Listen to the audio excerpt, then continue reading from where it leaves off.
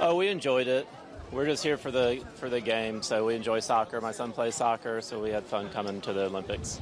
Oh, uh, it's awesome. That's that game was awesome because you know the team are like the first uh, selection, the first team with Messi, with everyone. Uh, Paredes, uh, the the young guys is play like them.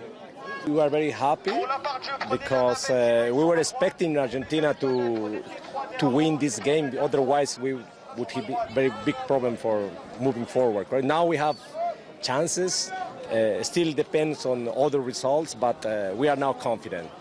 Well, to be honest, we were uh, thinking that the game was over. Indeed, I believe everybody left the stadium at that time, and uh, it was totally something unexpected. You know, uh, I don't think. I mean, based on previous similar event, events, we can say that uh, it, it was totally unexpected decision to restart the game. You know in previous situations the game was over and this is because the invasion already you know uh, like eliminate any chance to restart the game i mean it's very questionable i would say they did it best in all the organization here in lyon and of course the fans of iraq was very respectful all the time and also argentina fans it was a very good a very good coordinated all the all the organization yeah i, I think it was really really special. Um, not in a good way. Uh, it's not something that uh, normally we want to we want this sport to be.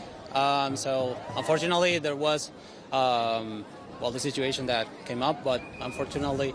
Um, but that, that's pretty much it. I cannot have any specifics into um, how how bad that is. It's, it's just a bad example.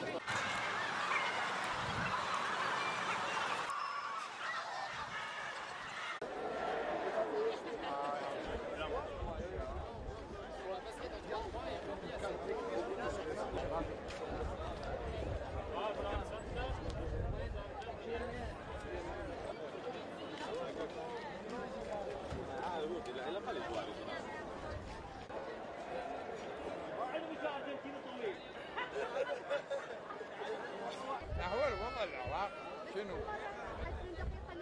نعس